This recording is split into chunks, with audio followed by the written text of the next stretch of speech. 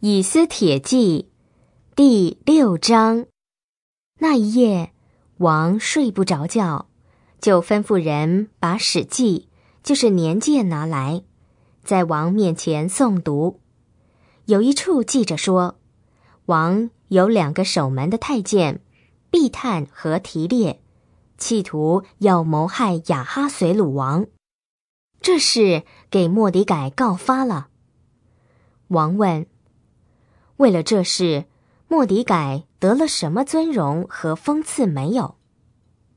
事后，王的众臣仆回答：“他什么也没有得到。”王问：“谁在院子里？”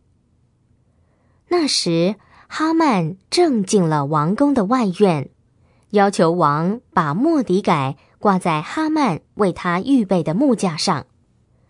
王的臣仆对他说：“是哈曼。”站在院子里，王说：“叫他进来。”哈曼就进去。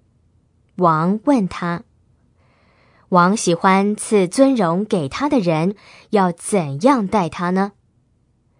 哈曼心里想：“王喜欢赐尊荣的人，除我以外还有谁呢？”于是哈曼回答王。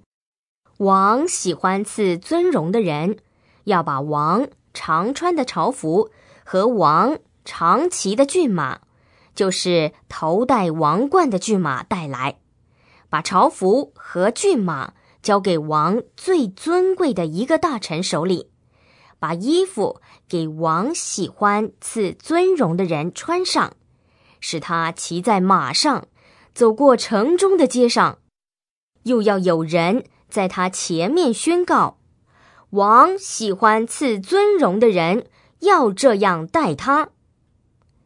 王对哈曼说：“赶快拿朝服和骏马来，照着你所说的，去行在那坐在朝门那里的犹大人莫迪改身上。